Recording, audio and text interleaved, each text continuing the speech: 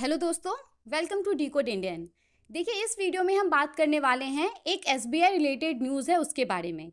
State Bank of India ने mobile hand held device को launch किया है। अब देखिए, ये जो मोबाइल हैंड हेल्ड डिवाइस को लॉन्च किया गया है, ये फाइनेंशियल इंक्लूजन को बढ़ावा देने के लिए लॉन्च किया गया है। किस तरीके से ये फाइनेंशियल इंक्लूजन को बढ़ावा देगा? तो अब क्या होगा? अब एसबीआई अपने कस्टमर्स को बैंकिंग सर्विसेज़ उनके घर पे प्रोवाइड करा पाएगा। ये इस डिवाइस से पॉसिबल हो पाएगा। जैसे कि कैश विड्रॉवल, कैश डिपॉजिट तो ये सब जो बैंकिंग सर्विसेज़ है, ये अब एसबीआई अपने कस्टमर्स के घर पे प्रोवाइड करा पाएगा। तो इसी के बारे में आज के इस वीडियो में हम डिटेल में बात करने वाले हैं। तो चलिए शुरू करते हैं। देखिए, सबसे पहले तो हम बहुत बार सुनते हैं कि किसी इनिशिएटिव को लॉन्च किया गया है फाइनेंशियल इंक्लूजन को बढ़ावा देने के लिए। तो एग्जैक्टली exactly ये फाइनेंशियल इंक्लूजन होता क्या है?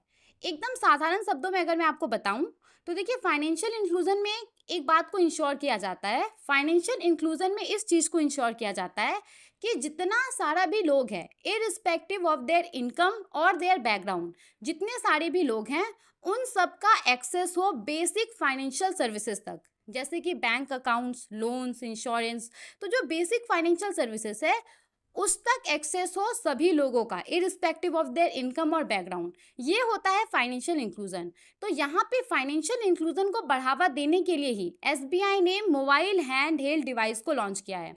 और देखिए, इससे क्या होगा? तो इससे अब एस के कस्टमर्स के लिए बैंकिंग सर्विसेज़ को अवेल करना और भी ज़्यादा कन्वीनियंट हो जाएगा. तो सबसे पहले तुम ये समझ लेते हैं कि ये मोबाइल हैंड हेल्ड डिवाइस होता क्या है। देखिए, अगर हम बात करें इन जनरल तो ये जो मोबाइल हैंड हेल्ड डिवाइस है, वो एक पोर्टेबल इलेक्ट्रॉनिक डिवाइस होता है। यहाँ पे पोर्टेबल का क्या मतलब है? यहाँ पे पोर्टेबल का मतलब है कि आप इस डिवाइस को कहीं पे भी आसानी से कैरी कर सकते हैं। जैसे कि स्मार्टफोन्स हो गया स्मार्टफोन्स को आप कहीं पे भी आसानी से कैरी कर सकते हैं। टैबलेट्स हो गया, इसके बाद कुछ पोर्टेबल गेमिंग कंसोल्स होता है, वो आपने देखा होगा, हो सकता है कि आपने इस्तेमाल भी किया होगा। इसको आप कहीं पे भी लेके जा सकते हैं, कहीं पे भी आप गेम खेल सकते हैं। तो ये सब एग्ज़ाम्पल है मोबाइल हैंड हेल्ड डिवाइस का एसबीआई ने भी यहाँ पे एक मोबाइल हैंड हेल्ड डिवाइस को लॉन्च किया है। अब हम देखते हैं कि किस तरीके से ये डिवाइस एसबीआई के कस्टमर्स के, को हेल्प करने वाला है। तो देखिए, ये डिवाइस क्या करेगा? ये डिवाइस एसबीआई के कस्टमर्स के डोर स्टेप पे, जो कियोस्क बैंकिंग होता है, उसको लाने का काम करेगा। अब ये जो कियोस्क बैंकिंग है, इसको कस्टमर सर्विस पॉइंट भी कहा जाता है। ये होता क्या है?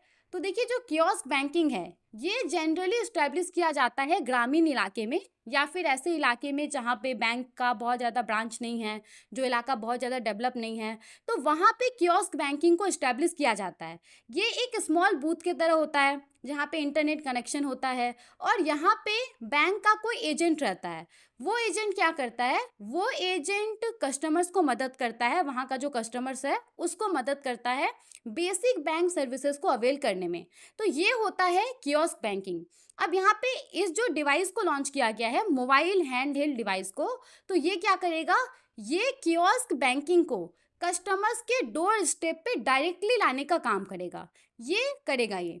और देखिए, ज़्यादातर जो मेन स्ट्रीम बैंक्स हैं सभी सेक्टर में प्राइवेट पब्लिक कोऑपरेटिव सभी सेक्टर में जो मेन स्ट्रीम बैंक्स हैं, वो अपने लोगों के लिए जो क्योस बैंकिंग है, उसको इस्टेब्लिश करते हैं बहुत सारे इलाके में। तो यहाँ पे एसबीआई का भी जो क्योस्क बैंकिंग है, जो एसबीआई ने इस्टेब्लिश किया हुआ है तो क्योस्क बैंकिंग को, इस डिवाइस को जो लॉन्च किया गया है तो ये डिवाइस क्या करेगा? क्योस्क बैंकिंग को एस के कस्टमर्स के डोर स्टेप पे डायरेक्टली लाने का काम करेगा। अब हम यहाँ पे समझते हैं कि एग्जैक्टली exactly किस तरीके से ये एसबीआई के कस्टमर्स को मदद करने वाला है। देखिए, होगा क्या? कि अभी जो कस्टमर सर्विस पॉइंट एजेंट्स हैं, वो बहुत सारे कस्टमर्स को सर्विस प्रोवाइड नहीं करा पाते हैं। लेकिन अब क्या होगा? अब जो इस डिवाइस को लॉन्च किया गया है तो जो कस्टमर सर्विस पॉइंट एजेंट है, यानी कि जैसे कि मैंने आपको बोला था कि जो क्योस बैंकिंग इस्टेब्लिश किया जाता है, वहाँ पे बैंक का एजेंट होता है। तो ये एजेंट को बहुत ज़्यादा फ्लेक्सिबिलिटी मिलेगा।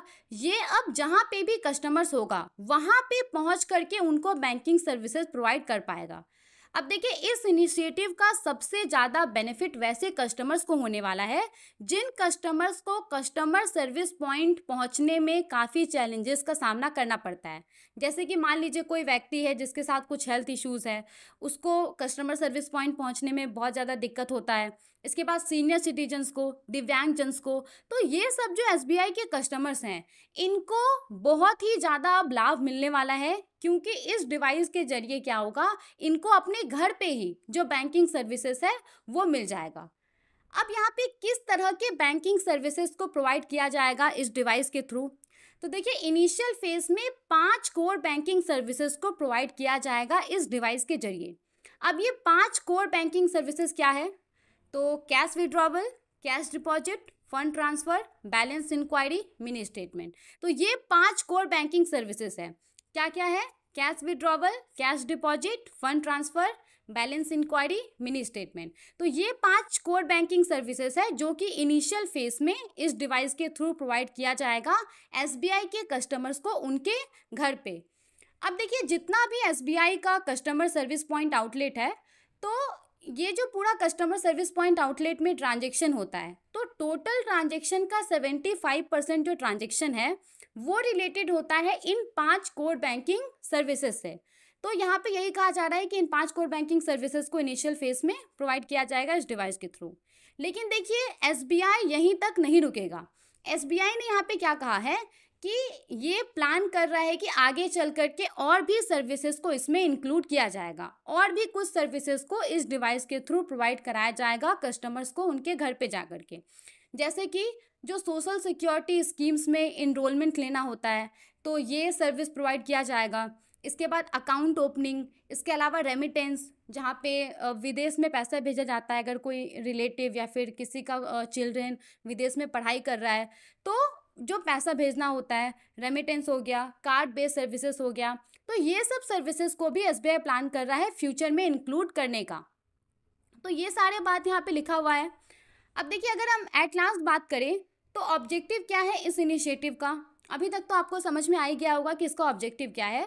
देखिए, इसका ऑब्जेक्टिव है कि सोसाइटी का जितना भी सेक्शंस है, उन सभी सेक्शंस तक जो बैंकिंग फैसिलिटीज़ है, वो एक्सेसिबल हो। खास करके जो अनबैंक्ड हैं, यानी कि वैसा व्यक्ति जिसका बैंक अकाउंट नहीं है, जो बैंक से जुड़ा हुआ नहीं है तो उन लोगों तक बैंकिंग फैसिलिटीज़ को एक्सेसिबल बनाना ही इस इनिशिएटिव का उद्देश्य है। और देखिए, एसबीआई का जो विज़न है, फाइनेंशियल इंक्लूजन को लेकर के, उसको ये फुलफिल करता है, ये इनिशिएटिव। तो ये सारा बात इस न्यूज़ से जुड़ा हुआ था। आई होप आपको ये वीडियो इन्फॉर्मेटिव लगा होगा। देखिए, अगर आपको ये वीडियो यूज़फुल लगा है तो आप इसे लाइक कर सकते हैं। अगर आपने चैनल को सब्सक्राइब नहीं किया है तो सब्सक्राइब कर सकते हैं। Thank you for watching.